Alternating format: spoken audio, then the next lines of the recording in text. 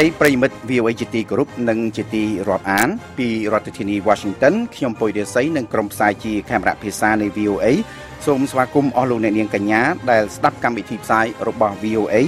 នៅយប់ថ្ងៃច័ន្ទទី25ធ្នូឆ្នាំ2017លំដាប់តទៅនេះលោកភីសុភាដាសូមជូនដើមរឿងព័ត៌មានអន្តរជាតិ ចិននិងរុស្ស៊ីជំរុញឲ្យមានដំណោះស្រាយដោយសន្តិវិធីសម្រាប់ភាពតានតឹងនៅឧបទ្វីបកូរ៉េក្រសួងទេសចរថៃថាភ្ញៀវទេសចរបរទេសមានការកើនឡើង23.2%នៅក្នុងខែវិច្ឆិកាប្រទេសកូតេម៉ាឡានឹងបដូរទីតាំងស្ថានទូតរបស់ខ្លួនក្នុងប្រទេសអ៊ីស្រាអែលពីទីក្រុង Tel Aviv ទៅទីក្រុង Jerusalem ។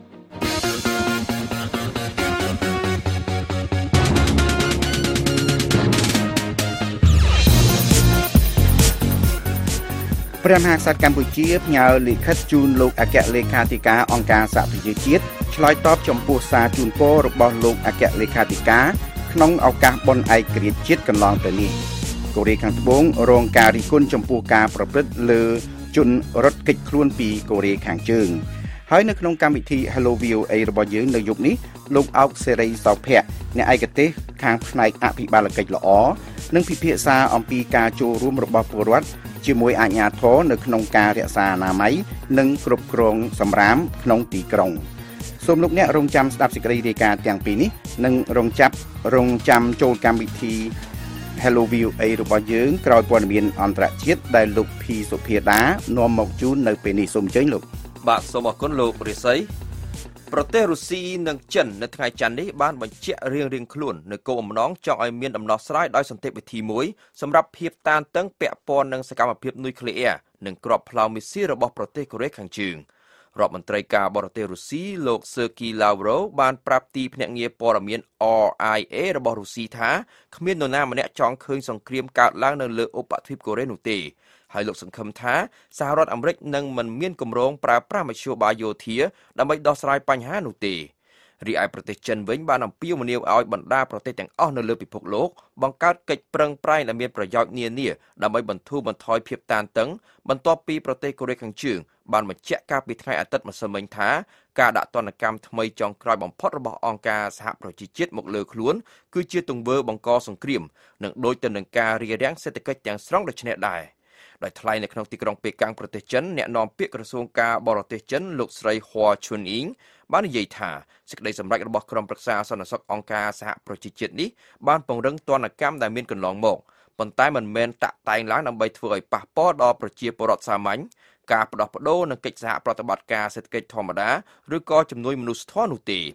លោកស្រីហួឈុនអ៊ីងក៏បានកត់សម្គាល់ផងដែរថា សេចក្តីសម្រេចនេះក៏បានស្នើឲ្យមានការប្រើប្រាស់នៅមធ្យោបាយសន្តិវិធីដើម្បីដោះស្រាយបញ្ហាហើយភាគីទាំងអស់គួរតែចាត់វិធានការយ៉ាងណាដើម្បីបន្ធូរបន្ថយភាពតានតឹងក្រុមប្រឹក្សាសន្តិសុខអង្គការសហប្រជាជាតិបានសម្រេចជាឯកច្ឆន្ទដាក់ទណ្ឌកម្មថ្មីថ្មីបន្ថែមទៀតលើប្រទេសកូរ៉េខាងជើងកាលពីថ្ងៃសុក្រកន្លងទៅនេះដោយសារតែកូរ៉េខាងជើងបានបាញ់សាកល្បងគ្រាប់ផ្លោងមីស៊ីលឆ្លងទ្វីបរបស់ខ្លួនកាលពីពេលថ្មីថ្មីនេះ។ ទណ្ឌកម្មទាំងនេះមានគោលបំណងដាក់កំហិតចំពោះលទ្ធភាពរបស់កូរ៉េខាងជើងក្នុងការទទួលបានផលិតផលប្រេងចម្រាញ់និងប្រេងឆៅក៏ដូចជាប្រាក់ចំណូលដែលទទួលបានពីជនជាតិកូរ៉េខាងជើងដែលធ្វើការនៅបរទេសផងដែរសហរដ្ឋអាមេរិកបានប៉ាន់ប្រមាណថាមានជនជាតិកូរ៉េខាងជើងរហូតដល់80000នាក់ធ្វើការនៅក្នុងប្រទេសចិន និងយ៉ាងតិច30000នាក់ធ្វើការនៅក្នុងប្រទេសរុស្ស៊ី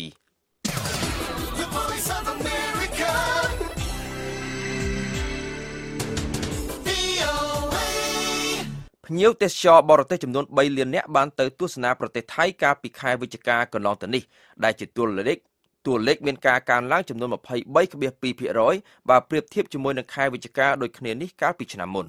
នេះបើយោងតាមការបញ្ជាក់របស់ក្រសួងទេសចរថៃនៅថ្ងៃច័ន្ទនេះចំនួនភ្ញៀវទេសចរបរទេសសរុបដែលទៅទស្សនាប្រទេសថៃចាប់ពីខែមករាដល់ខែវិច្ឆិកាឆ្នាំនេះមានចំនួន31លាន850,000នាក់ ដែលតួលេខនេះមានការកើនឡើងចំនួន8.1%បើប្រៀបធៀបជាមួយនឹងឆ្នាំមុននេះបើតាមការបញ្ជាក់របស់លោកផុងផានូស្វេថារុនដ្រារដ្ឋមន្ត្រីអចិន្ត្រៃយ៍នៃក្រសួងទេសចរនិងកីឡានៅក្នុងសេចក្តីជូនដំណឹងមួយលោកផុងផាណូបាននិយាយថាប្រទេសថៃរំពឹងថានឹងមានភ្ញៀវទេសចរមកទស្សនាសរុបចំនួន35លាន4សែននាក់នៅក្នុងឆ្នាំនេះដែលជាតួលេខមានការកើនឡើងចំនួន9%បើប្រៀបធៀបជាមួយនឹងឆ្នាំមុន លោកបានបញ្ជាក់ថាក្នុងចំណោមនោះភ្ញៀវទេសចរជាជនជាតិចិនអាចមានចំនួនប្រហែល10លាននាក់ឧស្សាហកម្មទេសចររបស់ថៃគឺជាកន្លែងផ្ដល់ការងារដ៏សំខាន់មួយនិងមានចំនួន12%នៃសេដ្ឋកិច្ចរបស់ប្រទេសកាលពីឆ្នាំ2016មានភ្ញៀវទេសចរសរុបចំនួន32លាន6សែននាក់ទៅទស្សនាប្រទេសថៃវិស័យទេសចររបស់ថៃបានរងគ្រោះអស់រយៈពេលជាងមួយទសវត្សរ៍មកហើយដោយសារតែភាពចលាចលផ្នែកនយោបាយនៅក្នុងប្រទេស ដែលក្នុងនោះមានទាំងការធ្វើបាតកម្មប្រឆាំងនឹងរដ្ឋាភិបាលនិងការធ្វើបាតកម្មគ្រប់គ្រងរដ្ឋាភិបាលជាច្រើនលើកច្រើនសារនិងរដ្ឋាភិបាលយោធាចំនួន2លើកផងដែរ។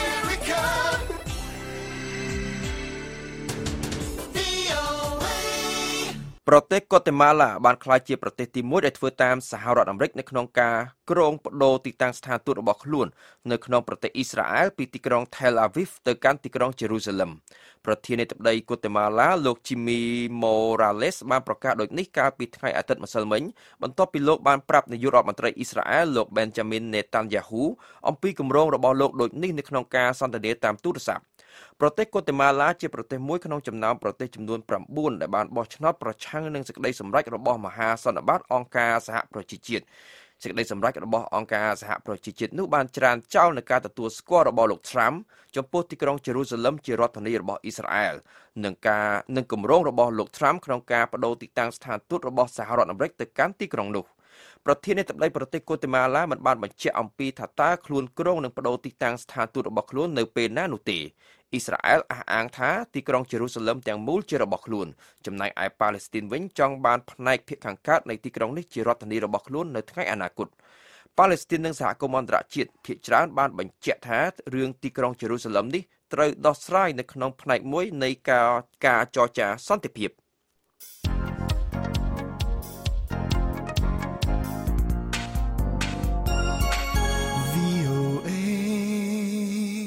សម្ដេចប៉ាប Francis បានអំពាវនាវឲ្យមានសន្តិភាពសម្រាប់ទីក្រុងជេរូសាឡឹមនិងការទុកចិត្តគ្នាទៅវិញទៅមកនៅឧបទ្វីបកូរ៉េនៅពេលដែលព្រះអង្គមានបន្ទូលផ្ដោតលើការរងទុក្ខវេទនារបស់កុមារនៅក្នុងចំនួននានានៅជុំវិញពិភពលោក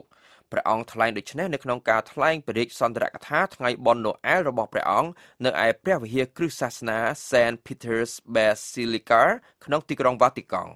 សម្ដេចប៉ាប Francis មានប្រេកបន្ទូលអំពីភាពតានតឹងដែលកើនឡើងរវាងអ៊ីស្រាអែលនិងប៉ាឡេស្ទីនដែលបានបញ្ជាក់អំពីសេចក្តីសង្ឃឹមរបស់ព្រះអង្គថាឆន្ទៈក្នុងការចាប់ផ្ដើមការចរចាឡើងវិញ អាចសម្រេចទៅបានរវាងភាគីទាំងពីរដើម្បីស្វែងរកដំណោះស្រាយមួយដែលអនុញ្ញាតឲ្យមានការរួមរស់ជាមួយគ្នាដោយសុខសន្តិភាពរវាងភាគីទាំងពីរចំពោះបញ្ហាកូរ៉េវិញសម្ដេចប៉ាប Francis បានមានប្រេកបន្ទូលថាយើងសូមបួងសួងគុំឲ្យមានការប្រជុំមុខដាក់គ្នានៅឧបទ្វីបកូរ៉េហើយបង្កើនការទុកចិត្តគ្នាទៅវិញទៅមកដើម្បីផលប្រយោជន៍របស់ពិភពលោកទាំងមូល រដ្ឋាភិបាលឆ្វេងនិយមរបស់ប្រទេសវេណេស៊ុយអេឡាបានដោះលែងអ្នកទោសដំបូងចំនួន80នាក់កាលពីថ្ងៃអាទិត្យម្សិលមិញដែលនេះជាកាយវិការដ៏ល្អមួយដែលបង្ហាញឡើងសម្រាប់គណៈបកប្រឆាំងរដ្ឋាភិបាលរបស់លោកប្រធានាធិបតីនីកូឡាសម៉ាដូរ៉ូបានប្រកាសកាលពីថ្ងៃសៅរ៍កន្លងទៅនេះថាខ្លួននឹងដោះលែងអ្នកទោសយ៉ាងតិច80នាក់ដែលអ្នកទាំងនោះបានជាប់ឃុំដោយសារការចូលរួមនៅក្នុងការតវ៉ាប្រឆាំងនឹងរដ្ឋាភិបាលនាពេលកន្លងមកអ្នកទោសទាំងនោះត្រូវបានដោះលែងក្រោមលក្ខខណ្ឌដាក់ ទោសបែបផ្សេងដែលក្នុងនោះមានទាំងការបំពេញភារកិច្ចសហគមន៍ផងដែរអង្គការសិទ្ធិមនុស្សនានាបានបញ្ជាក់ថារដ្ឋាភិបាលបានដាក់ឃុំអ្នកទោសនយោបាយរហូតដល់268នាក់លោកនីកូឡាសម៉ាដូរ៉ូថាអ្នកទាំងនោះជាប់ពន្ធនាគារក្រោមបទចោទប្រកាន់ថាមានគម្រោងផ្ដួលរំលំរដ្ឋាភិបាលនិងញុះញង់ឲ្យមានអំពើហិង្សាកាលពីថ្ងៃអាទិត្យម្សិលមិញសហរដ្ឋអាមេរិកបានសាទរចំពោះការ កាត់ថវិកាមូលដ្ឋានរបស់អង្គការសហប្រជាជាតិចំនួន285លានដុល្លារដែលបានបញ្ជាក់ថាវិធានការនេះជាជំហានដ៏ធំមួយ នៅក្នុងទិសដៅដ៏ត្រឹមត្រូវ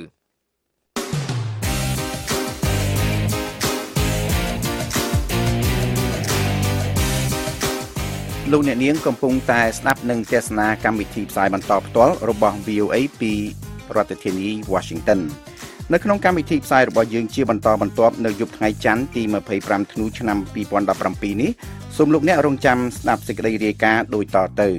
ព្រះមហាក្សត្រកម្ពុជាផ្ញើលិខិតជូនលោកអគ្គលេខាធិការអង្គការសហប្រជាជាតិឆ្លើយតបចំពោះសារជូនពររបស់លោកអគ្គលេខាធិការក្នុងឱកាសបុណ្យឯករាជ្យជាតិកន្លងទៅ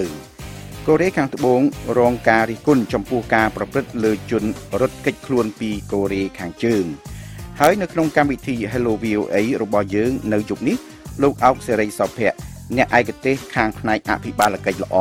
និងពិភាក្សាអំពីការចូលរួមរបស់ពលរដ្ឋជាមួយអាជ្ញាធរក្នុងការរក្សាអនាម័យនិងគ្រប់គ្រងសម្រាមក្នុងទីក្រុងសូមលោកអ្នកទូរស័ព្ទមកលេខ012 51 51 94ដើម្បីចូលរួម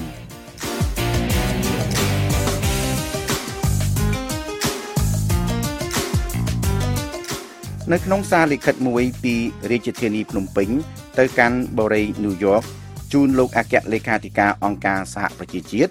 ព្រះមហាក្សត្រកម្ពុជាព្រះបាទនរោត្តមសីហមុនីទ្រង់បានបញ្ជាក់អំពីចេតនារបស់ប្រទេសកម្ពុជា ក្នុងការបន្តរួមសកម្មភាពជាមួយអង្គការសហប្រជាជាតិជាបន្តទៅទៀតក្នុងមូលដ្ឋាននៃសន្តិភាព ការអភិវឌ្ឍនិងសិទ្ធិមនុស្សដើម្បីទាំងអស់គ្នា លោកអូនឆេងប៉នៃ VOA មានសេចក្តីរាយការណ៍លម្អិតពីរាជធានីភ្នំពេញដូចតទៅព្រះមហាក្សត្រខ្មែរព្រះបាទនរោត្តមសីហមុនីកាលពីសប្តាហ៍កន្លងទៅ បានបង្ហាញជំហររបស់ព្រះរាជាណាចក្រកម្ពុជា ក្នុងការបន្តសកម្មភាពជារដ្ឋសមាជិកដ៏សកម្មមួយរបស់អង្គការសហប្រជាជាតិប្រយោជន៍ដើម្បីភាពកាន់តែរឹងមាំនៃស្ថាប័នអន្តរប្រទេសកម្ពុជាមួយនេះផ្អែកលើគោលដៅដើម្បីសន្តិភាពការអភិវឌ្ឍនិងសិទ្ធិមនុស្សដើម្បីទាំងអស់គ្នា ក្នុងព្រះរាជសារលិខិតចុះថ្ងៃទី22ខែធ្នូកន្លងទៅព្រះករណាព្រះបាទសម្ដេចព្រះបរមនាថនរោត្តមសីហមុនីព្រះប្រមុខរដ្ឋកម្ពុជាឆ្លើយតបនឹងសារលិខិតជូនពររបស់លោកអគ្គលេខាធិការអង្គការសហប្រជាជាតិអង់តូនីញ៉ូគូតេរ៉េសដែលបានជូនពរប្រជាជនកម្ពុជាក្នុងឱកាសបុណ្យឯករាជ្យជាតិកន្លងទៅព្រះមហាក្សត្រទ្រង់បានបង្ហាញនូវការឆ្លើយតបប្រកបដោយសេចក្តីពេញចិត្តដ៏ជ្រាលជ្រៅជាទីបំផុត ព្រះករណាព្រះមហាក្សត្រទ្រង់បានមានព្រះរាជបន្ទូលក្នុងចុតម៉ាយដែលមានន័យដើមទាំងស្រុងថាព្រះរាជាណាចក្រកម្ពុជានឹងបន្តនូវភាពសកម្មក្នុងការផ្សារភ្ជាប់និងចូលរួមជាវិភាគទានរបស់ខ្លួនជួយកសាងអង្គការសហប្រជាជាតិមួយដែលមានភាពកាន់តែរឹងមាំនិងបោះជំហានឆ្ពោះទៅមុខក្នុងកិច្ចខិតខំប្រឹងប្រែងរួមរបស់យើងដើម្បីធានាឲ្យបាននូវសន្តិភាពការអភិវឌ្ឍនិងសិទ្ធិមនុស្សដើម្បីទាំងអស់គ្នា ព្រះរាជសារលិខិតរបស់ព្រះមហាក្សត្រដែលបានគ្រងរាជសម្បត្តិតាំងពីឆ្នាំ2004មកស្នងពីព្រះវរបិតារបស់ព្រះអង្គគឺព្រះបាទនរោត្តមសីហនុកើតមានឡើងនៅចំពេលសំខាន់ទាំងខាងអង្គការសហប្រជាជាតិនិងទាំងខាងប្រទេសកម្ពុជានៅអង្គការសហប្រជាជាតិកាលពីសប្តាហ៍កន្លងទៅមានការបោះឆ្នោតមួយនៅកម្រិតអង្គមហាសន្និបាត ដែលបានចេញជាសេចក្តីសម្រេចមួយថ្កោលទោសកម្មភាពរបស់សហរដ្ឋអាមេរិកដែលជាអ្នកផ្ដាល់ហិរញ្ញប្បទានធំបំផុតដល់ខ្លួនក្នុងការរំកិលស្ថានទូតទៅកាន់ទីក្រុងសេរុយសាឡឹមដែលនាំឲ្យទីក្រុងវ៉ាស៊ីនតោនខឹងសម្បាឲ្យពិចារណាសាររើទំនាក់ទំនងនិងការយល់ឃើញទៅថ្ងៃអនាគតរបស់ខ្លួនមកលើអង្គការសហប្រជាជាតិទៀតផងរីឯនៅខាងប្រទេសកម្ពុជាឯនេះវិញកំពុងរੂតរឹតដោយភាពមិនច្បាស់លាស់ ដែលមានកិច្ចពិភាក្សាមួយរៀបចំនៅស្ថានបេសកកម្មចិនត្រៃសហរដ្ឋអាមេរិកប្រចាំអង្គការសហប្រជាជាតិដែលមានការចូលរួមពីតំណាងបកជំទាស់នៅសង្គមស៊ីវិលកម្ពុជាបានស្នើឲ្យមានការព្យួរអាសនៈអង្គការសហប្រជាជាតិរបស់កម្ពុជាជាបណ្ដោះអាសន្នការស្នើឲ្យមានការព្យួរអាសនៈអង្គការសហប្រជាជាតិរបស់កម្ពុជានិងអំពាវនាវឲ្យមានការដាក់ទណ្ឌកម្មលើរបបដឹកនាំកម្ពុជាត្រូវបានធ្វើឡើងក្នុងការអះអាងរបស់បកជំទាស់និ ងសង្គមស៊ីវិលដែលបានចូលរួមកិច្ចពិភាក្សាខាងលើគឺដើម្បីឆ្លើយតបនឹងការបង្ក្រាបរបស់រដ្ឋាភិបាលលោកនាយករដ្ឋមន្ត្រីហ៊ុនសែនទៅលើក្រមជំទាស់និងការបង្ក្រាបលើអង្គការសង្គមស៊ីវិលនិងសារព័ត៌មានដែលមិនចំណុះឲ្យរដ្ឋាភិបាលរបស់លោកការរំលែកអង្គការចាត់តាំងផ្ទៃក្នុងប្រទេសកម្ពុជារបស់គណៈបកសង្គ្រោះជាតិដែលជាក្រុមជំទាស់ធំបំផុតត្រូវបានធ្វើឡើងកាលពីពាក់កណ្ដាលខែវិច្ឆិកាកន្លងទៅក្រោយពីមានការចាប់ខ្លួនគូប្រជែងរបស់លោកនាយករដ្ឋមន្ត្រីហ៊ុនសែន គឺលោកកឹមសុខាដាក់ពន្ធនាគារដោយចោទពីបទថាបាន ប្រព្រឹត្តអំពើក្បត់ជាតិមិនទាន់មានការឆ្លើយតបអ្វីភ្លាមភ្លាមនោះទេពីការិយាល័យរបស់លោកអគ្គលេខាធិការអង្គការសហប្រជាជាតិតាក់ទងនឹងព្រះរាជសារលិខិតបង្ហាញនូវសុឆន្ទៈរបស់អង្គព្រះមហាក្សត្រកម្ពុជាតែអ្នកនាំពាក្យម្នាក់របស់លោកអគ្គលេខាធិការអង្គការសហប្រជាជាតិបានប្រាប់ VOA កាលពីពេលកន្លងទៅថាអង្គការសហប្រជាជាតិមានក្តីព្រួយបារម្ភអំពីស្ថានភាពនយោបាយនៅកម្ពុជា លោក Fahan Azihak អ្នកនាំពាក្យរបស់លោកអគ្គលេខាធិការអង្គតូនីញ៉ូគូតេរ៉េសបានប្រាប់ VOA កាលពីសប្តាហ៍មុនក្នុងន័យដើមទាំងស្រុងថាលោកអគ្គលេខាធិការនឹងបន្តតាមដានស្ថានភាពនៅប្រទេសកម្ពុជានិងស្នើអាជ្ញាធរខ្មែរឲ្យអនុលោមតាមការតាំងចិត្តរបស់ខ្លួនរឿងសិទ្ធិមនុស្សនិងរក្សាឲ្យមានបន្តទៅទៀតនៅសមិទ្ធផលផ្នែកលទ្ធិប្រជាធិបតេយ្យដែលប្រទេសមួយនេះសម្រេចបាននាពេលកន្លងទៅ មន្ត្រីម្នាក់នៃព្រះបរមរាជវាំងរបស់ព្រះបាទនរោត្តមសីហមុនីបាននិយាយថាព្រះរាជសារលិខិតរបស់ព្រះអង្គត្រូវបានតាក់តែងឡើងគ្រាន់តែជាកាយវិការការទូតធម្មតាតែប៉ុណ្ណោះដើម្បីជាការឆ្លើយតបនឹងសារជូនពររបស់មិត្តបរទេសនានា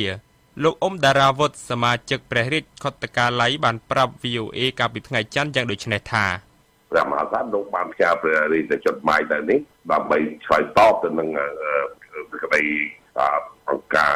ណាអគ្គលេខាធិការគាត់បានជូនពរយើងនៅពេលឯករាជ្យមួយវិជ្ជាការនឹងអានឹងជាការធម្មតាទេនឹងលោកត្រូវឆ្លើយតបទៅគេហើយមន្ត្រីព្រះបរមរាជវាំងរូបនេះបានបដិសេធមិនពិភាក្សាអ្វីជ្រាលជ្រៅអំពីព្រះរាជសារលិខិតនោះទេដោយថាវាអាចជាអំពើប្រមាថប្រជាស្ដាក្នុងអ្វីដែលក្រសួងមហាផ្ទៃកំពុងធ្វើការប្រព្រឹត្តទៅនៃការធ្វើវិសោធនកម្មក្រមព្រហ្មទណ្ឌ ដើម្បីបន្ថែមមេត្រាចែងពីការដាក់ទោសទណ្ឌរាល់បទល្មើសដែលចែងអំពីការប្រមាថមាក់ងាយដល់អង្គព្រះមហាក្សត្រគិតត្រឹមខែធ្នូឆ្នាំ2017នេះកម្ពុជាបានក្លាយជាសមាជិកនៃអង្គការសហប្រជាជាតិអស់រយៈពេល62ឆ្នាំមកហើយអង្គការសហប្រជាជាតិបានដើរតួនាទីជាអ្នកត្រួសត្រាយផ្លូវឈានទៅដល់ការបញ្ចប់ចម្បាំងរាំងជលនៅកម្ពុជាកាលពី26ឆ្នាំមុននិងធ្វើអន្តរាគមន៍រក្សាសន្តិភាពនៅកម្ពុជា ជួយកាច់ចង្កូតចូលមកកន្លងរបបដឹកនាំតាមលទ្ធិប្រជាធិបតេយ្យអាស្រ័យការបោះឆ្នោតកម្ពុជាបានចូលរួមក្នុងសកម្មភាពនានារបស់អង្គការសហប្រជាជាតិនាពេលថ្មីៗនេះផងដែររួមមានបេសកកម្មរក្សាសន្តិភាពជួយបោសសម្អាតក្របមីននិងក្របមិនទាន់ផ្ទុះនៅបណ្ដាប្រទេសក្នុងតំបន់អាហ្វ្រិកនិងមជ្ឈិមបូព៌ាព្រះបាទនរោត្តមសីហមុនីក៏ជាព្រះរាជតំណាងរបស់កម្ពុជាចូលរួមកិច្ចប្រជុំកម្ពុជាជាប្រវត្តិសាស្ត្ររបស់អង្គការសហប្រជាជាតិ ស្ដីអំពីការប្រែប្រួលអាកាសធាតុនៅទីក្រុងប៉ារីសកាលពីឆ្នាំ2015ផងដែររាយការណ៍ពីរាជធានីភ្នំពេញខ្ញុំអូនឆេងប៉ VOA ពីរដ្ឋធានី Washington សំលេងហៅរដ្ឋអាមេរិក នីតិវិធីសម្ងាត់របស់រដ្ឋាភិបាលកូរ៉េខាងត្បូងពាក់ព័ន្ធនឹងអ្នករត់គេចចេញពីប្រទេសកូរ៉េខាងជើង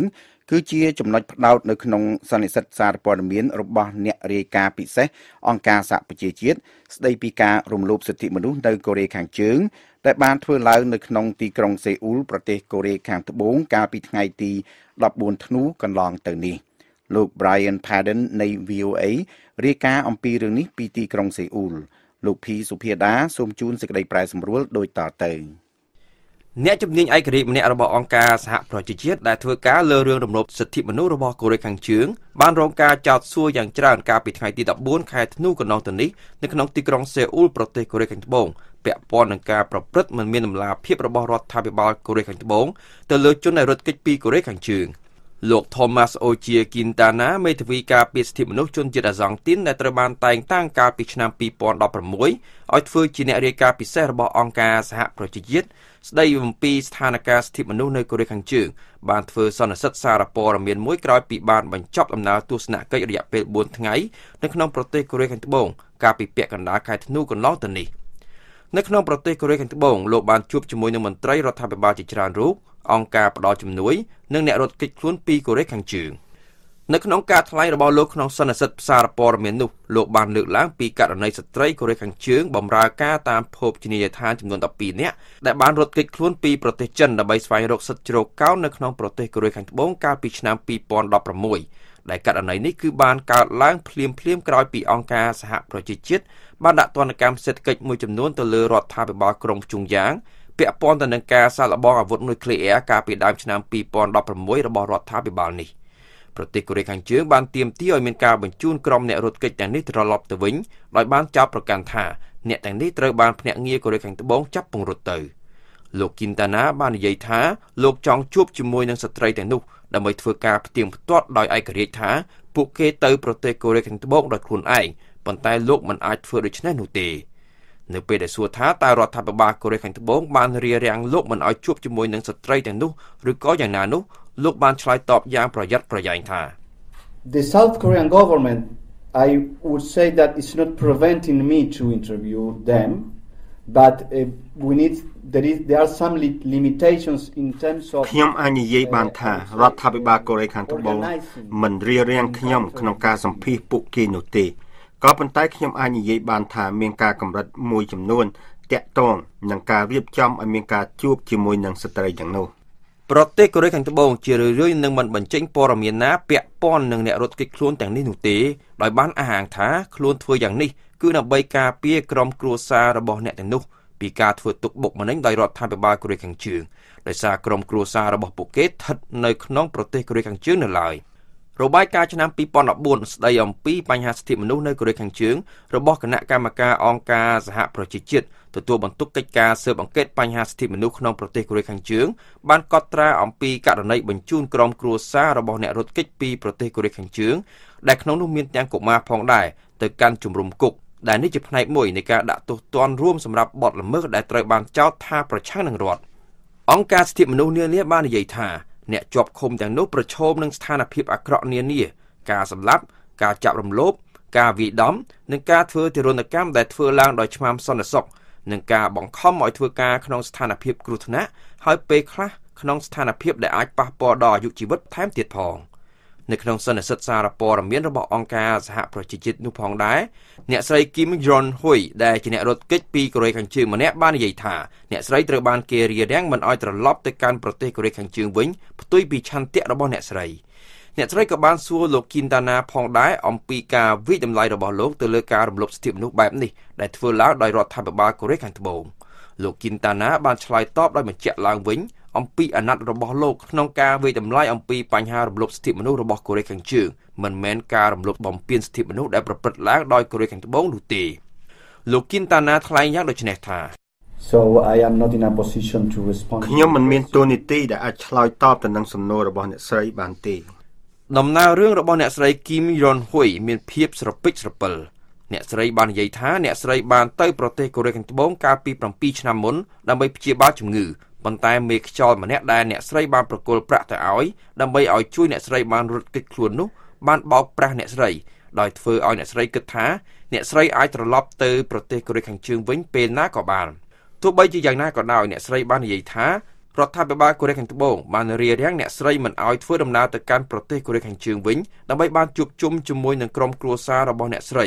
ដែលបានលើកឡើងពីច្បាប់សន្តិសុខជាតិដែលហាមមិនឲ្យធ្វើដំណើរទៅប្រទេសកូរ៉េខាងជើង។ អ្នករត់គេចខ្លួនផ្សេងទៀតដែលចង់ត្រឡប់ទៅប្រទេសកូរ៉េខាងជើងវិញក៏ប្រឈមនឹងការត្រួតពិនិត្យតឹងតែងផងដែរដោយរដ្ឋាភិបាលកូរ៉េខាងត្បូងបារម្ភថាពួកគេអាចជាប់ពាក់ព័ន្ធនឹងការស៊ើបការសម្ងាត់សម្រាប់ប្រទេសកូរ៉េខាងជើងអ្នកស្រីគីមយ៉ុនហ៊ុយនិយាយថាអ្នកស្រីបានព្យាយាមធ្វើពុតថាខ្លួនជាកេងសម្ងាត់របស់កូរ៉េខាងជើងដើម្បីឲ្យគេដេញអ្នកស្រីចេញពីប្រទេសកូរ៉េខាងត្បូងនេះអ្នកស្រីត្រូវបានគេចាប់ខ្លួនប៉ុន្តែអ្នកស្រីបាននិយាយថា រដ្ឋាភិបាលកូរ៉េខាងត្បូងបានទម្លាក់ចោលដោយការចោទប្រកាន់អ្នកស្រីថាជាភ្នាក់ងារស៊ើបការសម្ងាត់របស់បរទេសអ្នកស្រីនិយាយថា 판결문에이사람은원치않게왔지만돌려보낼방법이없어서못보냈다는게សាក្រមតុលាការបានសរសេរថាមនុស្សម្នាក់នេះមកប្រទេសកូរ៉េខាងត្បូងដោយអចេតនាប៉ុន្តែមិនអាចបញ្ជូនត្រឡប់ទៅវិញបានទេដោយសារតែគ្មានមូលហេតុអ្វីដែលត្រូវបញ្ជូនអ្នកនេះត្រឡប់ទៅវិញច្បាប់បានទទួលស្គាល់ថាខ្ញុំបានមកដល់ប្រទេសកូរ៉េខាងត្បូងនេះដោយមិនមែនកើតឡើងពីឆន្ទៈរបស់ខ្ញុំនោះទេ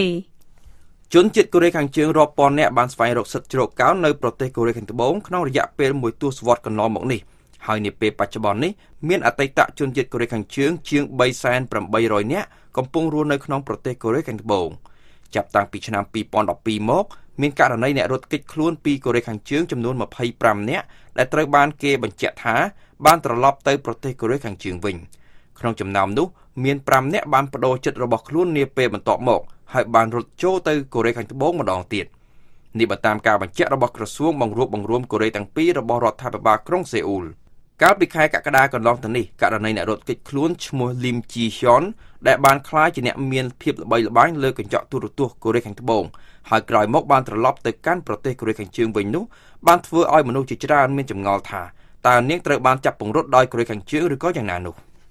នៅពេលបញ្ចប់ការធ្វើសន្និសីទសារព័ត៌មាននេះអ្នកសារព័ត៌មាននានាបានប្រមូលផ្ដុំគ្នាជុំវិញអ្នករត់គេចខ្លួនកូរ៉េខាងជើងរូបនោះដើម្បីស្ដាប់ការរិះគន់របស់នាងលើរដ្ឋាភិបាលកូរ៉េខាងត្បូង ជាជាងផ្ដោតលើរបាយការណ៍របស់អ្នករាយការណ៍ពិសេសអង្គការសហប្រជាជាតិអំពីការរំលោភបំពានសិទ្ធិមនុស្សដោយកូរ៉េខាងជើងពីរដ្ឋធានី Washington ខ្ញុំភីសុភាដា VOA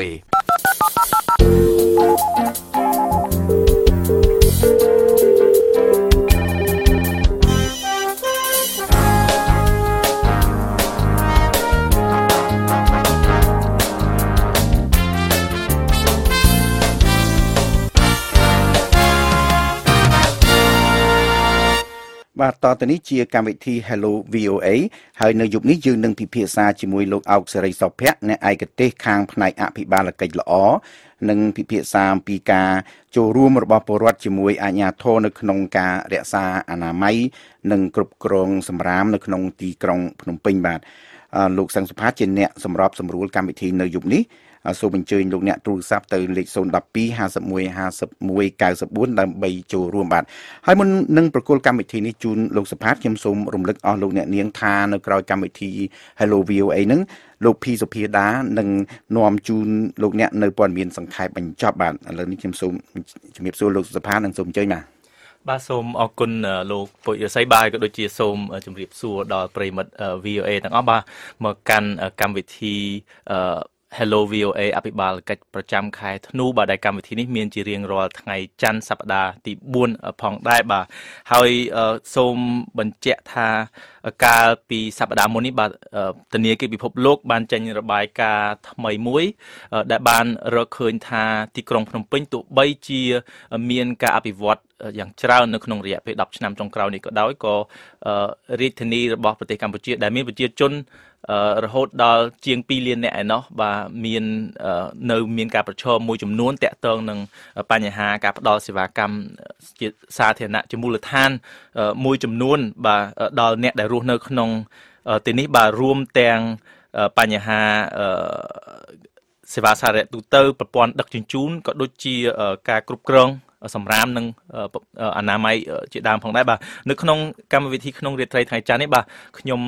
នឹងលើកយកបញ្ហាមួយមកពិនិត្យគឺបញ្ហាការគ្រប់គ្រងសម្រាម និងអនាម័យបាទដោយសារយើងជិតដល់ចុងឆ្នាំនឹងមានពិធីបុណ្យជាច្រើនផងដែរបាទដែលជាទូទៅក្នុងពេលកន្លងមកឃើញថា មានការលំបាកមួយចំនួនតាក់ទងការគ្រប់គ្រងសម្រាមបាទហើយទោះបីថាធនាគារពិភពលោកបានអំពាវនាវឲ្យ សាលារាជធានីភ្នំពេញរដ្ឋបាលដែលគ្រប់គ្រងទីក្រុងភ្នំពេញនេះបាទមានកំណែទម្រង់មួយចំនួនក្នុងវិស័យនេះក៏ដោយក៏នៅក្នុងកម្មវិធីរាត្រីនេះបាទយើងពិភាក្សាផ្ដោតលើចំណុចមួយគឺថាតើពលរដ្ឋវិញតែម្ដងបាទដែលមានជាង2លាននាក់ហើយក៏មានការកើនឡើងជាច្រើនទៀតបាទដោយសារមានចំណាក់ស្រុកពីខេត្តផ្សេងៗមកនៅរាជធានីភ្នំពេញតើតើគាត់អាចមានការរួមចំណែក អ្វីបាទទៅដល់កិច្ចប្រឹងប្រែងរបស់អាជ្ញាធរនៅក្នុងការគ្រប់គ្រងសម្រាមផ្សេងផ្សេងបាទនៅក្នុងរាជធានីភ្នំពេញបាទហើយដូចជារៀងរាល់ដងដែរបាទយើងមានការចូលរួមពីលោកអោកសេរីសុភ័ក្របាទជាភ្ញៀវប្រចាំខែរបស់យើងនៅពេលនេះបាទជាដំបូងខ្ញុំសូមជម្រាបសួរលោកសេរីសុភ័ក្របាទជម្រាបសួរលោកសុផាតបាទបាទសូមអរគុណលោកដែលអញ្ជើញនៅក្នុងក្នុងថ្ងៃនេះបាទតែម្ដងបាទហើយដូចខ្ញុំ បានលើកពីមុននេះបាទដោយសារមានរបាយការណ៍របស់ធនាគារពិភពលោកនេះពិភាក្សាទៅលើ10ឆ្នាំចុងក្រោយខ្ញុំចង់សួរលោកវិញតាមការសង្កេតក៏ដូចជាការស្រាវជ្រាវរបស់លោកផ្ទាល់ក្នុងរយៈពេល10ឆ្នាំចុងក្រោយនេះតើបញ្ហាការគ្រប់គ្រងសម្រាមនិងអនាម័យនៅក្នុងរាជធានីភ្នំពេញមានការប្រែប្រួលល្អឬមួយមិនល្អក្នុងកម្រិតណាហើយបើយើងនិយាយពីកត្តាដែលធ្វើឲ្យមានការប្រែប្រួលនេះគឺថាក្នុងកម្រិតណាជា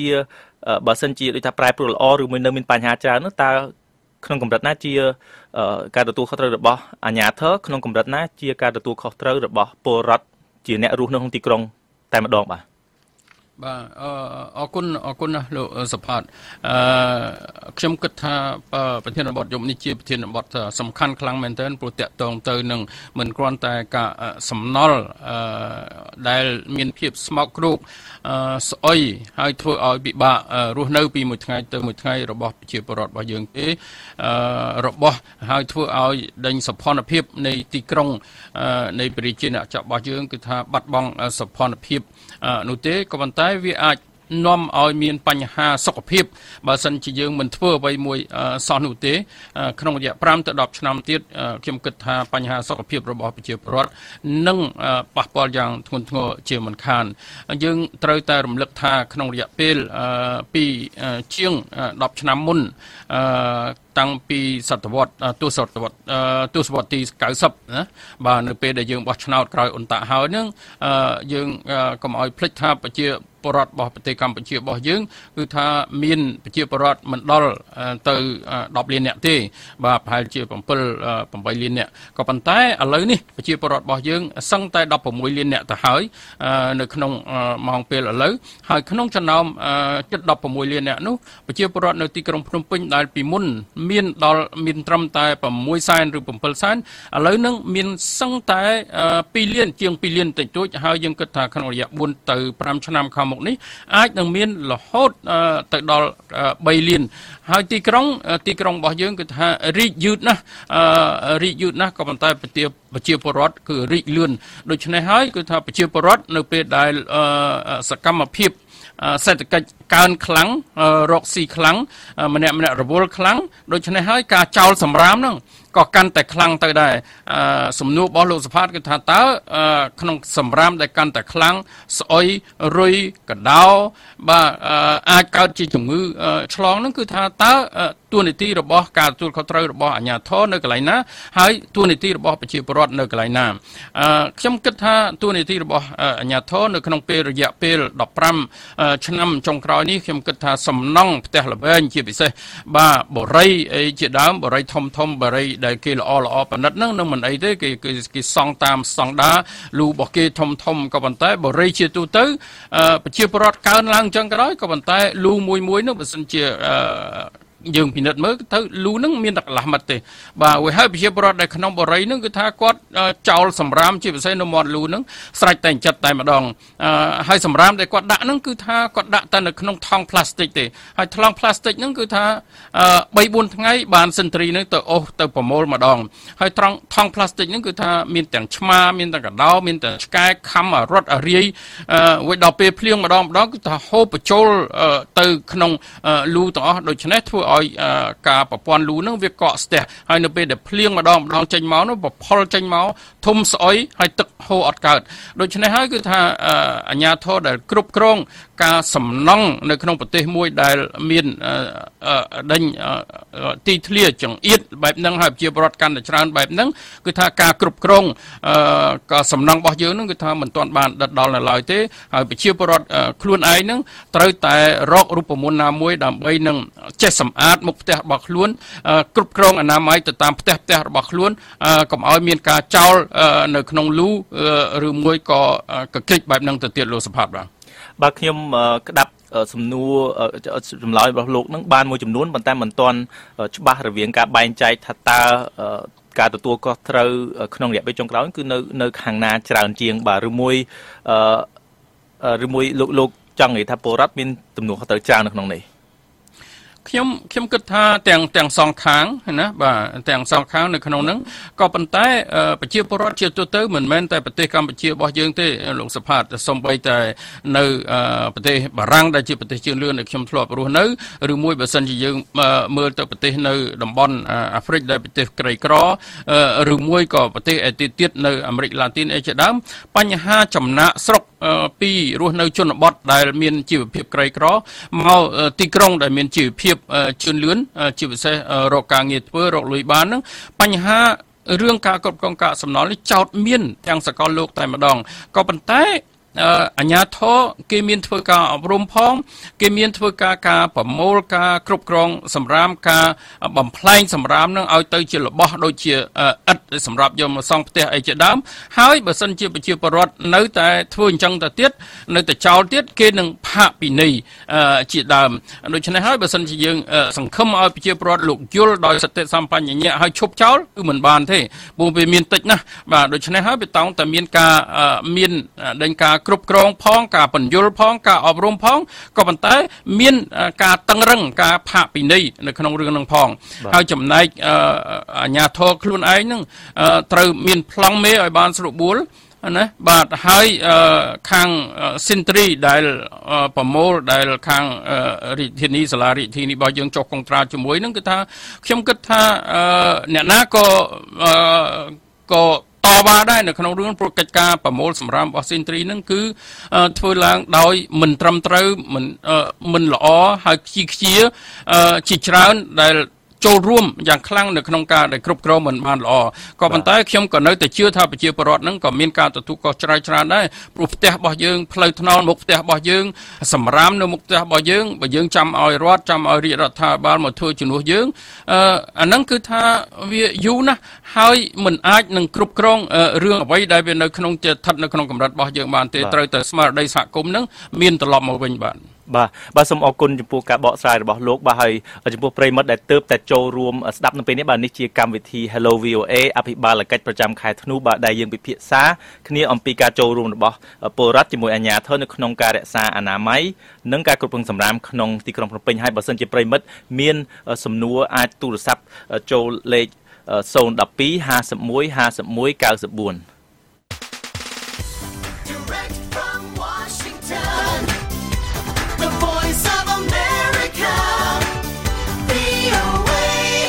បាទហើយលោកសុភ័ក្រនៅពេលនេះយើងមានប្រិមិត្តមួយរូបបានទូរស័ព្ទចូលពីទីក្រុងភ្នំពេញដែលជាកន្លែងតាក់ទងទៅនឹងការគ្រប់គ្រងសម្រាមតែម្ដងបាទហើយខ្ញុំសូមទទួលតែម្ដងបាទគឺអ្នកស្រីសាមេតបាទសូមជម្រាបសួរអ្នកស្រីសាមេតចាខ្ញុំស្មត់ស្មត់ចាបាទសមិទ្ធសំទោសបាទអ្នកស្រីសមិទ្ធបាទសូមអរគុណចំពោះការទូរស័ព្ទចូលនេះបាទហើយអ្នកស្រីសមិទ្ធមានសំណួរអីទៅកាន់លោកសុភ័ក្រទេបាទជំរាបសួរអ្នកស្រីសមិទ្ធបាទ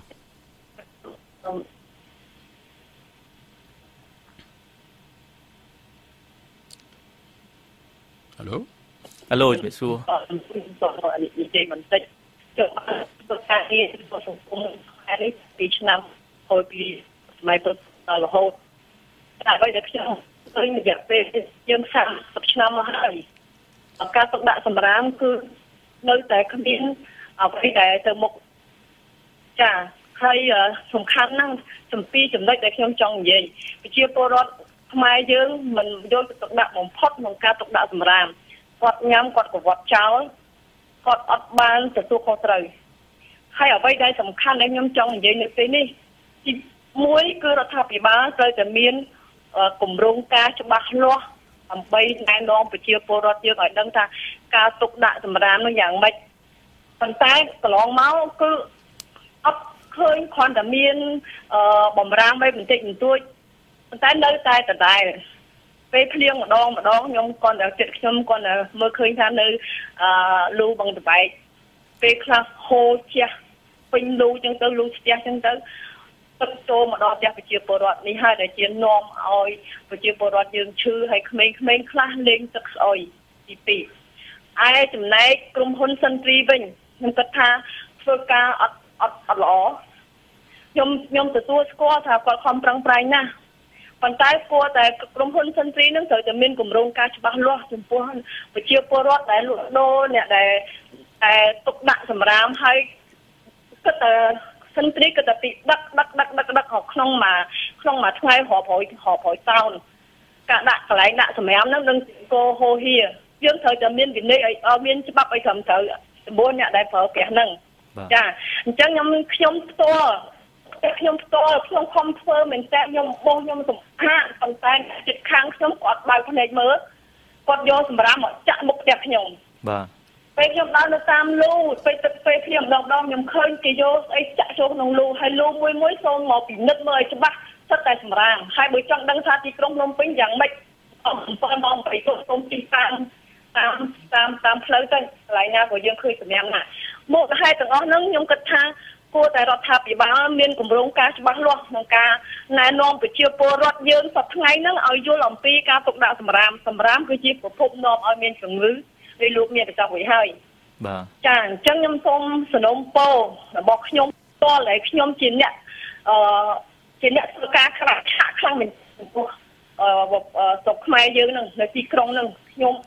យកដៃខ្ញុំទៅកាត់សម្រាមខ្ញុំខ្ញុំចែក ខ្ញុំដើរចែកស្បោងដើម្បីឲ្យប្រជាពលរដ្ឋយើងដឹងខ្ញុំបានណែនាំប្រជាពលរដ្ឋយើងថាពេលទៅផ្សារកុំយកស្បោងប្រើក្នុងម្នាក់ត្រូវប្រើស្បោងកស៊ូម្ដងម្ដងម្ដងផ្ទះបើយើងរាប់មើលទៅ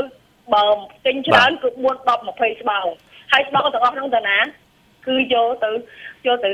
យកទៅចោលឬក៏យកទៅតាមផ្លូវតាមអីនោះឲ្យតែមានខ្យល់មានអីហុយពេញ បាទសូមខ្ញុំអរគុណរដ្ឋាភិបាលបាទសូមអរគុណ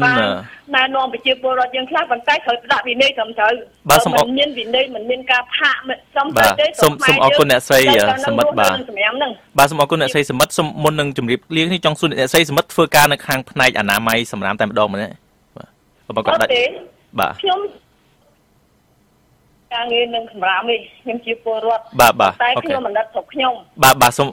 បាទសូមអរគុណច្រើនអ្នកស្រីសមិទ្ធបាទពីរាជធានីភ្នំពេញបាទលោក សុភ័ក្របាទអាចឆ្លើយតបទៅនឹងសំណួរគាត់តែម្ដងបាទខ្ញុំខ្ញុំមែនតើអត់មានអីឆ្លើយតបទេខ្ញុំមានតែឯកភាពជាមួយនឹងអ្នកស្រីសមិទ្ធខ្លាំងមែនតើពួកខ្ញុំក៏ជួបបញ្ហាដូចគាត់ដែរផ្ទះខ្ញុំក៏លិចទឹកដូចផ្ទះគាត់ចឹងដែរដោយសារតែប្រជាពលរដ្ឋចេះតែចោលសម្រាមតែផ្ដេសតែផ្ដាស់ហ្នឹងដោយសារបឹងមួយចំនួនហ្នឹងគេលុបអស់ទៅបន្លាយមួយចំនួនមានសំណង់អន្តរបត័យនៅពីលើហ្នឹងហើយប្រជាពលរដ្ឋចោលនៅតាមបន្លាយហ្នឹងគឺថាចោលសម្រាមខ្លាំងមែនទែនក៏ស្ទះទឹកលែងហូរទៅហើយដូច្នេះខ្ញុំមានតែឯកភាពជាមួយនឹងអ្នកស្រីសមិទ្ធមានខ្ញុំគ្រាន់តែថាស្ដាប់អ្នកស្រីសមិទ្ធមើលទៅខ្ញុំសម័យឃើញនៅក្នុងទីក្រុងរបស់យើងកន្លែងជាច្រើនដែលដូចដូចគ្នាអញ្ចឹង ខ្ញុំស្ដាប់ទៅខ្ញុំគិតថាមានវិធានការមួយ ដែលខ្ញុំឃើញនៅទួលតពុងបាទនៅទួលតពុងហ្នឹងគឺថាសិនត្រីនៅកន្លែងដែលអ្នករស់ស៊ីច្រើនសិនត្រីគាត់បានសុំឲ្យប្រជាពលរដ្ឋហ្នឹងគឺថាជាវជាវឲ្យដេញធុងសម្រាមពណ៌បៃតងហ្នឹងខ្ពស់ដែលមានកង់ខ្ពស់ហើយដែលអាច មានក្របអីត្រឹមត្រូវ ខ្ញុំថាជាដំបងទីនឹងមានវិធានការច្រើនទៀតប៉ុន្តែជាដំបងទីនេះនេះជាចំណុចចាប់ផ្ដើមមួយដ៏ល្អសូមឲ្យអាជ្ញាធរគ្រប់មូលដ្ឋានធ្វើការសហការជាមួយនឹងសាលាក្រុងធ្វើការសហការជាមួយនឹងសិនត្រីនឹងដើម្បីឲ្យប្រជាពលរដ្ឋឈប់ប្រើថង់ បាទព្រោះឃើញខ្ញុំឃើញតប្រជាពលរដ្ឋគាត់ចាប់ផ្ដើមដាក់សម្រាមនៅក្នុងថង់ក៏ប៉ុន្តែថង់នោះអត់មានប្រសិទ្ធភាពទេឆ្កែឆ្មាអូសទាញកដោលខំដាច់អាយ៉េអាយ៉ៃអីទៅ មានតែដេញធុងសម្រាមធំធំពណ៌បៃតងដែលសិនត្រីចែកនៅសុំឲ្យគេជាវនៅទួលកំពូលនោះទេដែលមានគម្របត្រឹមត្រូវមានកង់នៅពេលដែលឡានសម្រាមមកអាចប្រមូលបានមាន សិទ្ធិភាពខ្ញុំថាបើធ្វើអញ្ចឹងបានគ្រប់ទីកន្លែងហើយប្រជាពលរដ្ឋរៃគ្នាទៅ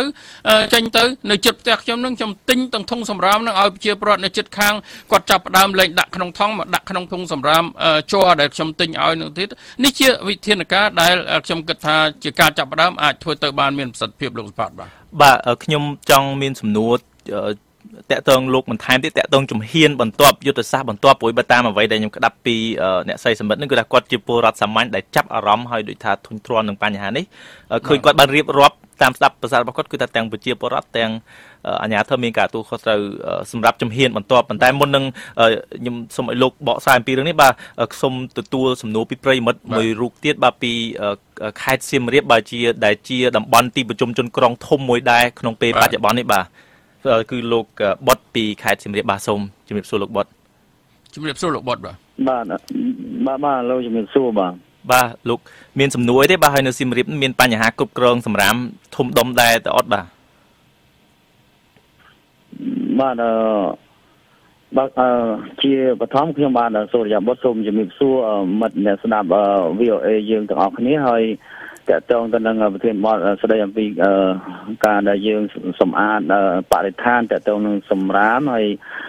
សម្រាប់ប្រទេសយើងឃើញថាมันសូវមានការចំណាប់អារម្មណ៍ប៉ុន្មានប៉ុន្តែសម្រាប់ប្រទេសជឿនលឿនជាទូទៅ គឺគេមានចំណាប់អារម្មណ៍ហើយ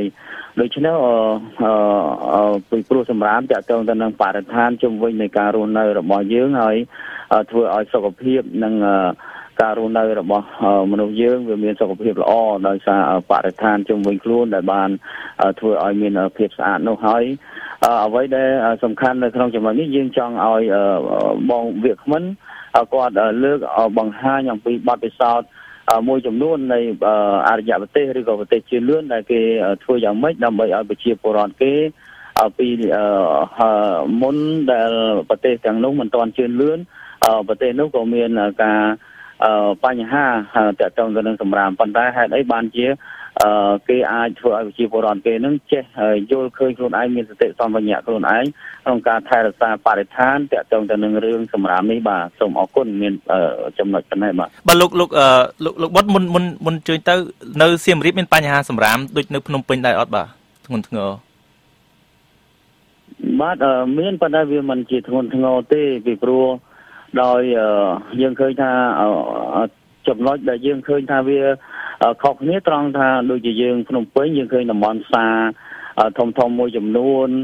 អឺជាពិសេសយើងឃើញដូចជាផ្សារដើមគោទាំងអស់គ្នាដែលធ្លាប់ចូលផ្សារដើមគោយើងឃើញបញ្ហាសម្រាមបញ្ហាដែលឃើញថា វាប៉ះពាល់ក្លិនដ៏ខ្លាំងហើយនឹងកន្លែងផ្សេងទៀតទៅដល់មាត់ទន្លេតែសៀមរាបអត់បញ្ហាលោកចូលកន្លែងអីហ្នឹងឃើញសម្រាមច្រើនអញ្ចឹងវាមានការខុសគ្នាជាជាក់ស្ដែងដែលយើងមើលឃើញអញ្ចឹងបាទបាទបាទសូមអរគុណលោកបាទបាទលោកសុភ័ក្រអញ្ចឹងដូច្នេះជំហានបន្ទាប់កម្ពុជាគួរមានយុទ្ធសាស្ត្រយ៉ាងម៉េចបាទជាពិសេសនៅរាជធានីភ្នំពេញបាទ បាទឆ្លើយឆ្លើយតបទៅនឹងលោកបុតបើលោកបុតដកស្រង់បទពិសោធន៍នៅប្រទេសគេជឿនលឿនដូចជាប្រទេសជប៉ុនដែលខ្ញុំបានទៅឆ្នាំទៅប្រទេសបារាំងដែលខ្ញុំបានរស់នៅជាង10ឆ្នាំអញ្ចឹងគឺថាគេច្រកមួយមួយហ្នឹងគេច្រកនៅក្នុងធុងស្បោងហើយគេបិទមាត់ជិតក៏ប៉ុន្តែស្បោងផ្លាស្ទិកឬមួយស្បោងកដាសទាំងអស់ហ្នឹងគេយកទៅដាក់នៅក្នុងធុងជ័រធំធំ បាទរួចហើយគេបិទក្របជិតអត់មានយកទៅចោលធុងថង់សម្រាមនោះអត់មានយកទៅចោលនៅលើតាមផ្លូវសាធារណៈដោយដែលយើងធ្វើនេះទេហើយឡានឡានដែលគេឡានយកមកសម្រាមហ្នឹងគេលើកតែធុងធំធំហ្នឹងទៅដាក់ទឹកក្នុងហ្នឹងអឺហ្នឹងគឺថាអស់ហើយអត់មានប្រឡាក់អញែអញៃរស់អរត់អរាអីតាមផ្លូវទេអ្វីដែលគេធ្វើអញ្ចឹងរួចហើយដល់ដល់វាស្អាតអញ្ចឹងទៅប្រជាពលរដ្ឋមួយមួយគ្មានអ្នកណាមួយដែលនឹកឃើញថាយកអ្វីទៅចោលឲ្យធ្វើខុសពីគេពីឯងនៅលើទីធ្លាដែលស្អាតនោះហើយទេហើយបើសិនជាចោលគេមានកាមេរ៉ាសវត្ថិភាពគេចាប់ទៅឃើញអាហ្នឹងគឺថាគេពិន័យខ្លាំងតែម្ដងហើយបើសិនជាមានអ្នកណាចោលប្រជាពលរដ្ឋនឹងនឹងទូរស័ព្ទនឹងទូរស័ព្ទទៅអាជ្ញាធរដោយគេសាដោយគេមានកាមេរ៉ាហ្នឹងហើយគេនឹងតាមរកឃើញអ្នកដែលចោលសម្រាមតាប្រេះផ្ដាស់ហ្នឹងទៅទៀតហើយខ្ញុំគិតថាយើងមិនទាន់ដល់នោះទេក៏ប៉ុន្តែជាការចាប់ផ្ដើមហ្នឹងយើងគួរតែការ ការផ្លាស់ប្ដូររបៀបនៃការដាក់វិចខ្ចប់សម្រាមរបស់យើងដាក់ទៅក្នុងធុងហើយស៊ីនទ្រីហ្នឹងគឺថាបើសិនជាយើងពិនិត្យឃើញស៊ីនទ្រីនៅពេលដែលគាត់ប្រមូលសម្រាមមិនមែនគាត់យកសម្រាមទៅចោលទេគឺថាគាត់បើក ដេញកញ្ចប់សម្រាមហ្នឹងវែកហើយគាត់រើសរបស់ណាដែលអាចយកទៅលក់ឲ្យអេតចាយអីបានដល់អញ្ចឹងទៅវារត់អារាយពេញតែនឹងដូច្នេះហើយរបៀបធ្វើការរបស់សិនទ្រីហ្នឹងខ្ញុំយល់ហើយដេញបងប្អូនអ្នកដែលប្រមូលសម្រាមហ្នឹងគឺថាគាត់អត់គាត់ត្រូវការរស់ស៊ីនៅក្នុងរឿងហ្នឹងក៏ប៉ុន្តែមិនមានប្រសិទ្ធភាពទេធ្វើបែបហ្នឹងបាទបាទលោកមុននឹងខ្ញុំទទួលសំណួរពីប្រិមិត្តមួយរូបទៀតពីខេត្តបាត់ដំបងចង់សួរលោកតាក់ទងនឹងអ្វីដែលអ្នកស្រីសមិទ្ធក៏ដូចជាលោកបុតពីស៊ីមៀនបានលើកឡើងគឺតាក់ទងការផាកពិន័យលោកបានលើកឡើងមុនហ្នឹងនៅក្នុងពេលបច្ចុប្បន្ននេះរាជធានីភ្នំពេញមានការផាកពិន័យដែលរអត់បើសិនជាយើងចោលសម្រាមពីព្រោះខ្ញុំឧទាហរណ៍ដូចនៅ Washington DC នេះដែលជាទីក្រុងស្អាតមែនតើហ្នឹងមានរបៀបរបបហ្នឹងតាមខ្ញុំខ្ញុំមិនបានដឹងថាមានការផាកពិន័យអត់ទេតែពេលដែលរឿងផាកពិន័យសម្រាមយើងធ្វើយើងនឹកឃើញដល់ទីក្រុងសង្ហបុរីបាទដែលតាមចាំគឺមានការផាកពិន័យពិតប្រាកដនេះជាជំហានមួយដែលរាជធានីភ្នំពេញកំពុងតែពិនិត្យមើលទេលោកបាទ បាទអឺតាមព័ត៌មានដែលខ្ញុំបានទទួលអឺហើយសាលារាជធានីភ្នំពេញក៏បាន post នៅក្នុង page Facebook របស់ខ្លួនដែរបាទឥឡូវហ្នឹងកំពុងតែដេញក្រុមប្រឹក្សាការងារកំពុងតែព្រៀងព្រៀងដេញគោលនយោបាយនៃការផាកពិន័យនេះទៅលើប្រជាពលរដ្ឋណាដែលមិនគ្រប់ចាប់ជាពិសេសដូចជានៅបលាយទឹកអីយកសម្រាមទៅចោលនាំឲ្យកកស្ទះទឹកលែងហូរស្ទះពេលដែលភ្លៀងជន់ម្ដងម្ដងផ្សេងៗទាំងអស់ហ្នឹងកំពុងតែរៀបចំក៏ប៉ុន្តែអត្ថបទហ្នឹងនៅពេលដែលរៀបចំ Hello VA នេះគឺថាមិនទាន់មានដែលអាចនឹងឲ្យយើងដឹងបាននោះទេបាទលោកសុផាតក៏ប៉ុន្តែកំពុងតែរៀបចំហើយបាទជាអ្វីដែលអាចមាននៅឆ្នាំថ្មីនេះបាទដូច្នេះបាទចំពោះប្រិមត្តដែលទើបតែចូលរួមនេះជាកម្មវិធី Hello VOA អភិបាលកិច្ចប្រចាំខែធ្នូបាទដែលយើងពិភាក្សាអំពីការចូលរួមរបស់ពលរដ្ឋជាមួយអាជ្ញាធរនៅក្នុងការរក្សាអនាម័យនិងការគ្រប់គ្រងសម្រាមក្នុងរាជក្នុងក្រុងទីក្រុងបា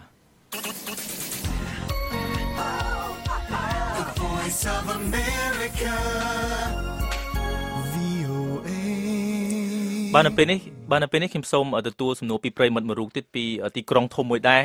គឺទីក្រុងបាត់ដំបងនៅខេត្តបាត់ដំបងនៃប្រទេសកម្ពុជាបាទគឺលោកអូន បាទសូមជម្រាបសួរលោកអូនពីបាត់ដំបងបាទបាទបាទបាទសូមអញ្ជើញជាសំណួរឬយោបល់បាទជំរាបសួរលោកអូនបាទបាទបាទជំរាបសួរបាទជំរាបសួរ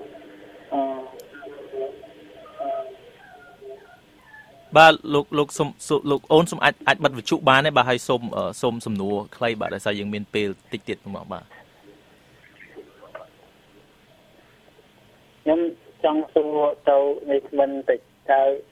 នៅក្នុងអារឹងនេះហ្នឹងគឺចាក់ចម្រាមក្បែរក្បែរផ្សារហ្នឹងអត់មានឃើញយកទៅណាឃើញទៅចាក់ជុំវិញហើយនិយាយពីរុយរោមឲ្យស្មៅងឹតហើយនៅគ្នាចាក់ក្បែរក្បែរហ្នឹងអត់មានឃើញដឹកចេញបាទបាទបាទ ហើយដឹងថាអាញាធរដូចជាអត់ធ្វើអត់ដឹងអត់លឺអញ្ចឹងហើយអ្នកបស៊ីផ្សារហ្នឹងគិតយកតែបស៊ីឯថាអាចបើឡើងរុយរោមខៀវងឹតពេញដីអត់មានស្មើបាទនឹងគេគិតធ្វើយ៉ាងណាខ្ញុំឆ្ងល់ដល់នឹងដែរបាទលោកលោកអូនមានប្រសាសន៍ហ្នឹងគឺផ្សារនៅខេត្តបាត់ដំបងមែនទេបាទបាទនៅផ្សារនៅផ្សារបណ្ដាក់ហ្មងបាទនៅផ្សារនៅជនបទបាទនៅជនបទអញ្ចឹងបញ្ហានេះក៏ជាបញ្ហានៅក្នុងជនបទផងដែរបាទ បាទដូច្នេះបាទសូមសូមអរគុណលោកបាទដែលបានចូលរួមអឺសួរជាសំណួរជាបល់នៅនៅពេលនេះបាទបាទបាទអរគុណបាទលោកសុភ័ក្រអឺខ្ញុំចង់សួរលោកអឺពីវិធានការបន្ទាប់រួមទាំងការផាកពិន័យដូចថាតកតងប្រសិទ្ធភាពនៃការប្រើនេះហើយអឺទោះបីថាប្រធានបទនេះមិនចំជាលក្ខណៈនយោបាយក៏ដោយបាទខ្ញុំចង់ងាកទៅអឺចំណុចអនុវត្តចំពោះការធ្វើឲ្យមានប្រសើរក្នុងការគ្រប់គ្រងសម្រាមនេះនៅក្នុងកម្មវិធីកាលពីអឺខែមុនលោកបានលើកឡើងអំពីបរិបត្តិ នៃបរិយាកាសនយោបាយក្នុងពេលបច្ចុប្បន្ននេះដូចជាពិសេសតកតងនឹងបញ្ហាឃុំសង្កាត់ដោយសារมันមានគណៈបកសង្គ្រោះជាតិនៅក្នុងនោះទៀតអញ្ចឹងនៅក្នុងពេលអនុវត្តជាក់ស្ដែងដូចជាបញ្ហាសម្រាមនេះដែលជានៅពេលអនុវត្តគឺតកតងនឹងមូលដ្ឋានតែម្ដងអឺនៅក្នុងពេលដែលមានដូចថាការមិនដូចថាតំណែងតំណងរវាងពលរដ្ឋទូទៅនិងអាជ្ញាធរថ្នាក់ក្រោមតែម្ដងនេះអាណាឧទាហរណ៍ដូច អាជ្ញាធរគុំសង្កាត់ក្រុមប្រឹក្សាតើនៅពេលលោកគិតថាបរិយាកាសនយោបាយអាចមានផលប៉ះពាល់ទៅនឹងអភិបាលកិច្ចនៃសម្រាមអត់បើយើងសល់មួយនាទីលោកបាទ បាទខ្ញុំគិតថាទោះបីយ៉ាងណាក៏ដោយចង់ក៏ដោយមិនចង់ក៏ដោយក៏វាមានការប៉ះពាល់ព្រោះការគ្រប់គ្រងអឺថ្នាក់មូលដ្ឋានហ្នឹងគឺថាបើសិនជាភាសាយើងនិយាយសាមញ្ញគឺថាជីសែលែងដៃណាបើសិនជាមានអឺការគណៈបកផ្សេងផ្សេងទៀតជាពិសេសគណៈបកប្រឆាំងដែលមានអត្តពលមានជាប្រៃភាពខ្លាំងអាហ្នឹងគឺអាចធ្វើឲ្យយ៉ាងណាឲ្យអាជ្ញាធរមូលដ្ឋានមានការខ្លាយរអាណាស់ដែរក៏ប៉ុន្តែខ្ញុំគិតថាទោះបីយ៉ាងណាក៏ដោយខ្ញុំឯកភាពជាមួយនឹងលោកអូនណានៅជុំវិញទីផ្សារហ្នឹងក្រមដេញខាងគណៈកម្មការផ្សារហ្នឹងគួរតែយកចិត្តទុកដាក់ឲ្យដូចជាផ្សារដើមត្រូវផ្សារដើមកឬមួយនៅជុំវិញម៉ុងចាល់ជាដើមដែលបដ ாய் ឲ្យលក់បន្លែស្អីស្អីទាំងអស់ហ្នឹងគឺជីសេលែងដៃខ្លាំងមែនតើហើយនៅពេលដែលទៅចង់ទៅចាប់ទៅផាកអីគេគ្រាន់តែឲ្យលុយបន្តិចតួចមកក៏បិទភ្នែកដើរចេញទៅខ្ញុំគិតថាធ្វើអញ្ចឹងមិនបានទេទេហើយថ្ងៃណាមួយប្រជាពលរដ្ឋទោះបីអត់មានគណៈបកប្រឆាំងក៏ដោយក៏ប៉ុន្តែប្រជាពលរដ្ឋនឹងផាកពីនៃទៅតាមរយៈសញ្ញាឆ្នោតនៅកន្លែងណាដែលកក្រិចកន្លែងណាដែលជុំវិញផ្សារសិតតែសម្រាមហើយអត់ដោះស្រាយនឹងនឹងគឺថានឹងផាកពិន័យដោយតាមរយៈស្លឹកឆ្នោតជាមិនខានលោកសុផាតបាទបាទ ខ្ញុំសូមអរគុណលោកសុភ័ក្រមែនទេបាទបានបកស្រាយនៅក្នុងនេះបាទហើយដោយសារកម្មវិធីយើងមានតែពេលវេលាតែប៉ុណ្ណេះបាទខ្ញុំសូមអរគុណលោកអក្សរសុភ័ក្រដែលបានចូលរួមបកស្រាយពេលនេះហើយសូមអរគុណដល់ប្រិមិត្ត VOA ទាំងអស់ដែលបានចូលរួមនៅពេលនេះហើយសង្ឃឹមថាឆ្នាំថ្មីនឹងនឹងមានសម្រាមតិចជាងមុនបាទនៅពេលនេះខ្ញុំអ្នកសម្របសម្រួលសង្ឃសុផាតសូមអរគុណនិងសូមជម្រាបលាបាទអរគុណបាទជំរាបលាបាទ Happy New Year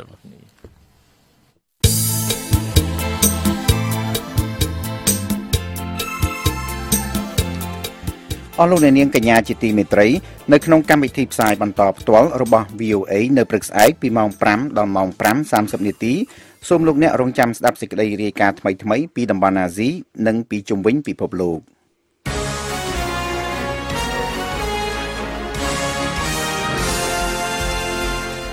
លំដាប់តទៅនេះលោកភីសុភាដាសូមជូនព័ត៌មានសង្ខេបបញ្ចប់សូមអញ្ជើញបាទបាទសូមអរគុណលោករិស័យ ប្រទេសទួរគីបានបញ្ឈប់ការងារមន្ត្រីរដ្ឋាភិបាលជាង2700នាក់កាលពីថ្ងៃអាទិត្យម្សិលមិញដែលនេះជាវិធានការថ្មីចុងក្រោយបំផុតនៃការបង្ក្រាបដ៏ទូលំទូលាយមួយតាំងពីការធ្វើរដ្ឋប្រហារយោធាមិនបានសម្រេចកាលពីខែកក្កដាឆ្នាំ2016មកមន្ត្រីរដ្ឋាភិបាលសរុបចំនួន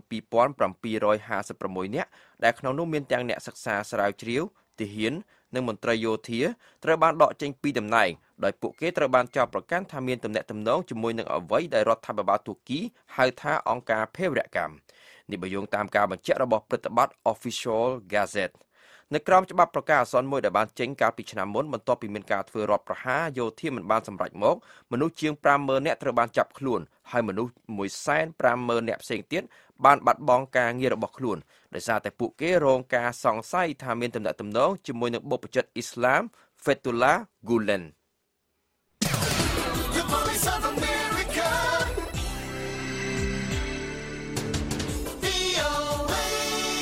ប្រធានាធិបតីនៃប្រទេសពេរូបានផ្ដល់ការលើកលែងទោសដោយសារមូលហេតុជំងឺឲ្យអតីតមេដឹកនាំផ្ដាច់ការគឺលោក Alberto Fujimori ដែលកំពុងជាប់ពន្ធនាគារចំនួន25ឆ្នាំក្នុងបទរំលោភសិទ្ធិមនុស្សនិងពុករលួយ សេចក្តីថ្លែងការណ៍មួយចេញពីការិយាល័យរបស់លោកប្រធានាធិបតី Pedro Pablo Kuczynski កាលពីយប់ថ្ងៃអាទិត្យម្សិលមិញបានឲ្យដឹងថាការលើកលែងទោសនេះធ្វើឡើងក្នុងមូលហេតុមនុស្សធម៌ដោយផ្អែកទៅលើការពិនិត្យសាររើមើលរបស់ពេទ្យដែលបានរកឃើញថាលោក Fujimori មានជំងឺដែលមិនអាចព្យាបាលបានលោក Fujimori កន្លងមកបានព្យាយាមស្វែងរកការលើកលែងទោសនេះអស់រយៈពេលជាង1ឆ្នាំហើយដោយសារបញ្ហាជំងឺនេះ ប៉ុន្តែក្រុមអ្នករិះគន់លោក Fujimori បានសន្និដ្ឋានថាការលើកលែងទោសរបស់លោកប្រធានាធិបតីនេះជាផ្នែកមួយនៃកិច្ចព្រមព្រៀងមួយដែលសមាជិកសភាខ្លះនៃគណៈបកប្រឆាំងបានយល់ស្របដើម្បីមិនគាំទ្រចំពោះការបោះឆ្នោតដកលោកប្រធានាធិបតី Pedro Pablo Kuczynski ចេញពីតំណែងកាលពីសប្តាហ៍មុន។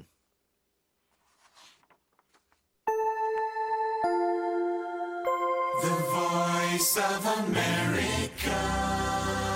មន្ត្រីអាហ្វហ្គានីស្ថានបាននិយាយថាការផ្ទុះគ្រាប់បែកអត្តឃាតមួយកាលពីព្រឹកថ្ងៃច័ន្ទនេះនៅក្នុងទីក្រុងកាបូលបានសម្លាប់មន្ត្រីស៊ើបការសម្ងាត់2នាក់និងជនស៊ីវិល4នាក់ក៏ដូចជាធ្វើឲ្យមនុស្ស2នាក់ផ្សេងទៀតរងរបួសផងដែរ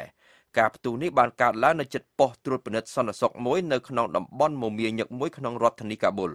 អ្នកដាក់គ្រាប់បែកអត្តឃាតនោះមានបំណងសម្ដៅលើកងកម្លាំងសន្តិសុខអាហ្វហ្គានីស្ថានប៉ុន្តែបែរជាចំរថយន្តរបស់ជនស៊ីវិលទៅវិញ នេះបើតាមការបញ្ជាក់របស់អ្នកនាំពាក្យក្រសួងមហាផ្ទៃលោក Najib Danis ក្រុមជ្រុលនិយមរដ្ឋអ៊ីស្លាមបានអះអាងទទួលខុសត្រូវចំពោះការផ្ទុះនេះប្រធានាធិបតីតំបន់ទីបេដែលនិរទេសខ្លួននៅបរទេសបានអំពាវនាវឲ្យរដ្ឋឲ្យរដ្ឋាភិបាលចិនដោះស្រាយការឈឺចាប់របស់ប្រជាពលរដ្ឋនៅក្នុងតំបន់ទីបេបន្ទាប់ពីបរិះវ័យក្មេងម្នាក់បានដុតខ្លួនកាលពីសប្តាហ៍មុនបើយោងទៅតាមប្រភពនានាជាច្រើនបរិះឈ្មោះគុនផេអាយុ30ឆ្នាំបានដុតខ្លួននៅក្នុងក្រុង Negaba ក្នុងខេត្តស៊ីឈွမ်កាលពីថ្ងៃទី23ខែធ្នូកន្លងទៅនេះជនជាតិទីបេជាច្រើនអ្នកបានដុតខ្លួននៅក្នុងទីក្រុង Negaba ស្ថិតនៅភាគខាងកើតតំបន់ទីបេតាំងពីឆ្នាំ2009មក ក្រុមហ៊ុន Research Now SSI ដែលជាក្រុមហ៊ុនស្រាវជ្រាវមួយដែលមានទីស្នាក់ការកណ្ដាលនៅក្នុងសហរដ្ឋអាមេរិកដែលបានរងគ្រោះនៅក្នុងអគ្គីភ័យមួយនៅក្នុងទីក្រុងដាវ៉ាវប្រទេសហ្វីលីពីនកាលពីថ្ងៃសៅរ៍កន្លងទៅនេះឥឡូវនេះបានបញ្ជាក់ថាបុគ្គលិករបស់ខ្លួនចំនួន37នាក់បានស្លាប់នៅក្នុងហេតុការណ៍អគ្គីភ័យនេះ អភិបាលក្រុងដាវ៉ាវបាននិយាយថាអ្នកពលរដ្ឋអគ្គីភ័យបានរកឃើញសាកសពបុគ្គលិកម្នាក់កាលពីថ្ងៃអាទិត្យម្សិលមិញនិងបានបញ្ជាក់ថាខ្លួនមានការលំបាកបំផុតក្នុងការស្វែងរកសាកសពចំនួន36នាក់ទៀតកាលពីថ្ងៃអាទិត្យម្សិលមិញព្រះមហាក្សត្រហ្វេលីបនៃប្រទេសអេស្ប៉ាញបានបញ្ជូនព្រះរាជសាររបស់ព្រះអង្គទៅកាន់តំបន់ខាតាឡូញ៉ាហើយអ្វីដែលព្រះអង្គមានព្រះរាជបន្ទូលគឺភាពចាំបាច់ក្នុងការជៀសវាងនឹងការប្រឈមមុខដាក់គ្នា ដោយក្រឡេកត្រឡប់ទៅមើលឆ្នាំ2017ដែលជាឆ្នាំដ៏តានតឹងមួយសម្រាប់ប្រទេសអេស្ប៉ាញព្រះអង្គបានរំលឹកមេដឹកនាំនឹងនឹងរដ្ឋសភាតំបន់ខាតាឡូញ៉ាអំពីបញ្ហាដែលប៉ះពាល់ដល់ប្រជាពលរដ្ឋតំបន់ខាតាឡូញ៉ាទាំងអស់ឲ្យគោរពភាពចម្រុះចិត្តសាសន៍នានានិងគិតគូរដោយមានការទទួលខុសត្រូវចំពោះផលប្រយោជន៍រួម។ កាលពីថ្ងៃអាទិត្យម្សិលមិញសហរដ្ឋអាមេរិកបានសាទរចំពោះការកាត់ថវិកាមូលដ្ឋានរបស់អង្គការសហប្រជាជាតិចំនួន285លានដុល្លារដោយបានបញ្ជាក់ថាវិធានការនេះជាជំហានដ៏ធំមួយនៅក្នុងទិសដៅដ៏ត្រឹមត្រូវ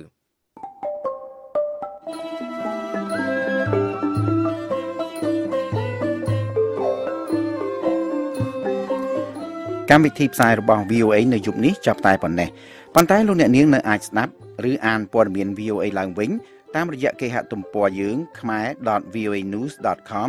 និងទស្សនាកម្មវិធីយើងឡើងវិញតាមរយៈ facebook.com/voa ខ្មែរ